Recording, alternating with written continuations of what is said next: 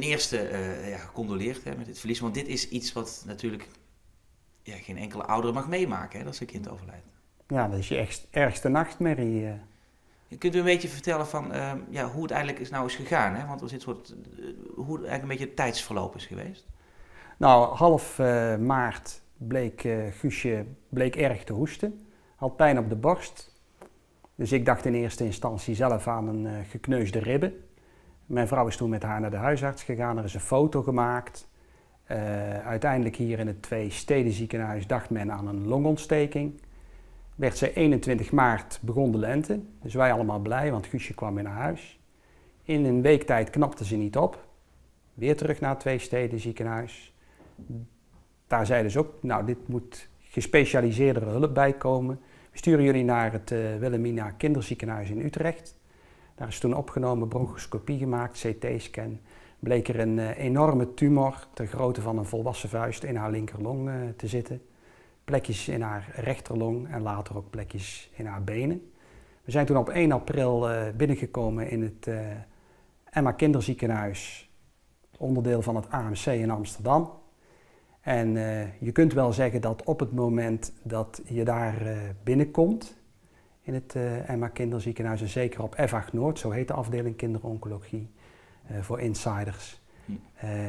dan is je leven zeg maar niet meer van jou.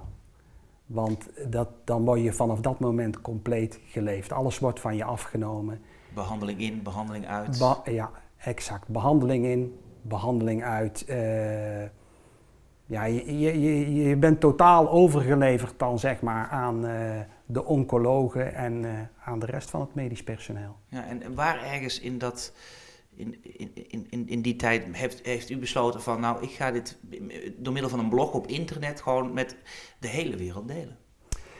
Uh, ik ben daarmee begonnen al vrij snel, na een dag of drie ben ik begonnen met mijn verhaal op papier te zetten. En de belangrijkste reden dat ik dat gedaan heb, was ik wilde zoveel mogelijk bij mijn dochter zijn, maar mijn telefoon stond de hele dag rood gloeiend. Mensen wilden allemaal weten van hoe is het met Guusje? En ik denk, nou laat ik gewoon het verhaal opschrijven zoals ik het beleef. En uh, ik ken een uh, echtpaar, uh, Jan en Wil van Wanrooy. En Jan die heeft levercelkanker. En zijn vrouw Wil, die houdt een blog bij. En als ik hen tegenkom of, of zie, dan hoef ik nooit te vragen van hoe is het nou met jullie, want dat, dat weet ik, dat wist ik gewoon. Maar het is natuurlijk, dan schrijf je het voor belangstellenden, uh, mensen die altijd bellen van god, hoe is het er nou mee? Ja. Uh, maar op, op, op zo'n moment wordt het natuurlijk voor de hele wereld, uh, wordt het, iedereen kan meekijken over uw schouder. Ja, ik had er ook een wachtwoord op kunnen zetten. Ik heb het toch besloten om het open te gooien en dat heeft ermee te maken van ja, wij zitten hier bij scouting. Eh, ik werk eh, aan een school. Mijn kinderen zitten op school. Eh, alle kinderen hier op school waar Guusje zat, die willen weten hoe dat het met haar is. en ik ga niet bepalen met wachtwoorden van wie dat mag zien. Wat mij betreft mocht heel de wereld weten hoe mijn dochter aan toe was. En zeg maar eigenlijk ook van hoe dat ik dat beleef. Want het is een totaal andere wereld waarin je terechtkomt. Wat ik ook zeg, je leven is niet meer van jou op het moment dat je kind kanker heeft. En het is ook een, een ziekte. Ik zeg altijd, je staat ermee op en je gaat ermee naar bed. En je bent er continu de hele dag mee bezig. Hè? Dus als bijvoorbeeld gezegd werd, nou, uh, de zus van Guusje die doet volgend jaar eindexamen, 6 VWO. Dan was het eerste wat ik altijd dacht van, zal Guusje daar nog bij zijn? Praten we over kerstmis, zal Guusje daar nog bij zijn? Wat gaan wij uh, over drie weken doen? Zal Guusje daar nog bij zijn? Ja. En ook de, de behandelingen. Uh, je gaat naar het uh, Emma Kinderziekenhuis. Je gaat met een on oncoloog praten daar. En ik zei wel eens tegen mijn vrouw: Ik ben benieuwd welke konijnen er vandaag weer uit de hoed gaan komen. Ja, elke keer weer een verrassing. Het was elke keer weer opnieuw een verrassing. En het allermoeilijkste bij Guusje is ook geweest: ze hebben geprobeerd om die tumor eruit te halen middels een operatie.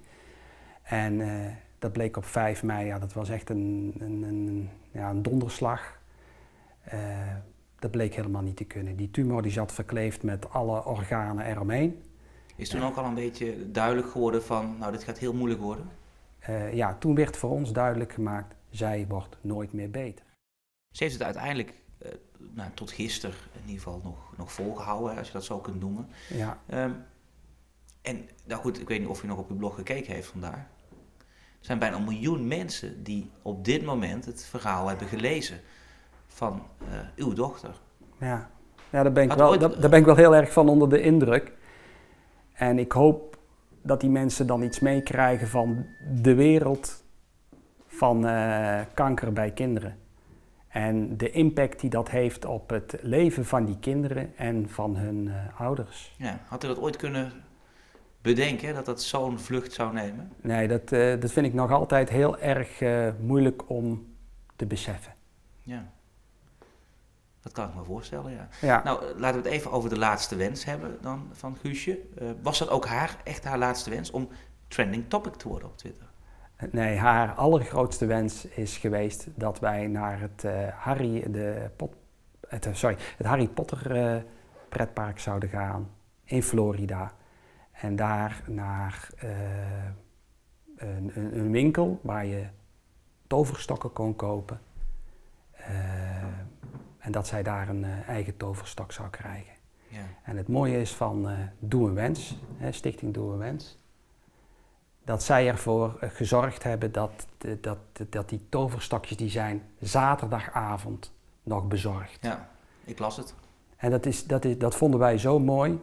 Alleen Guusje was op dat moment gewoon te zwak, zeg maar, om zelf nog zo'n toverstokje op te tillen. Hm.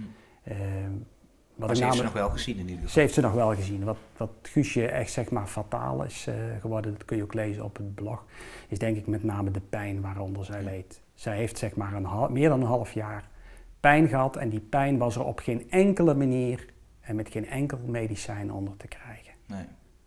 Maar waar ik dan toch nog even over Twitter uh, met u over. Ja, oké. Want u, u zegt van nou, haar grootste wens was Harry Potter. Maar was, het was toch wel een wens van haar om trending topic te worden, of niet? En niet dat ik weet.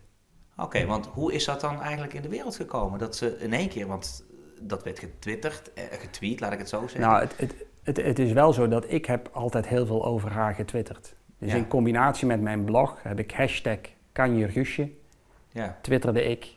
En dat vertelde ik ook wel tegen haar. Ze is ook al een keer eerder trending topic geweest, ergens in juni. Mhm. En uh, ik heb haar toen uitgelegd wat dat is. En ik heb gezegd, nou, dat betekent gewoon dat heel veel mensen over jou praten. Nou, dat vond ze wel heel erg uh, mooi.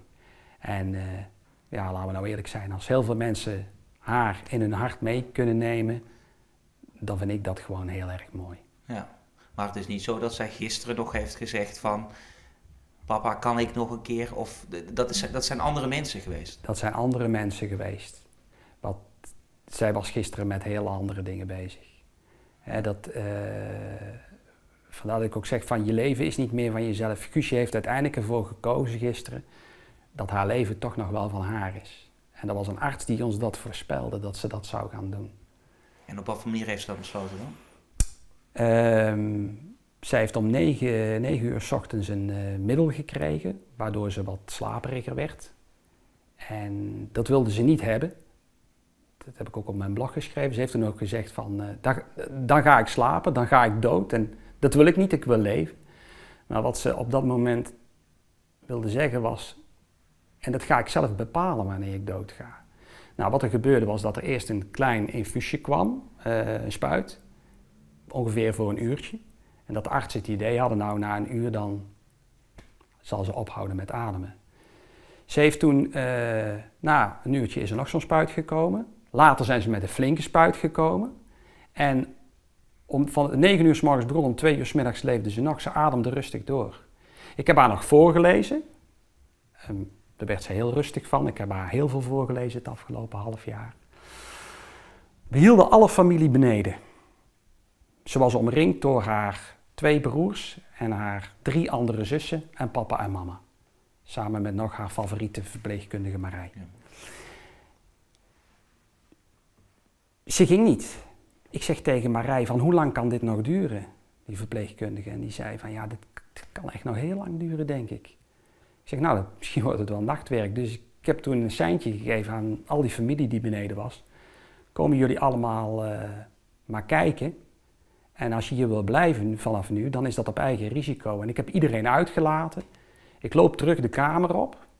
Ik zeg van, nou, eh, ik heb er wel dorst van gekregen. Kan er iemand een cola gaan halen? Waarop eh, mijn vrouw zei, Louis, kijk eens hier. En er was rust. En het, het rare is, en misschien een vreemde reactie van mijzelf was, ik was zo ontzettend blij voor haar. Want eindelijk was ze verlost van alle pijn. Ja, eindelijk had ze rust.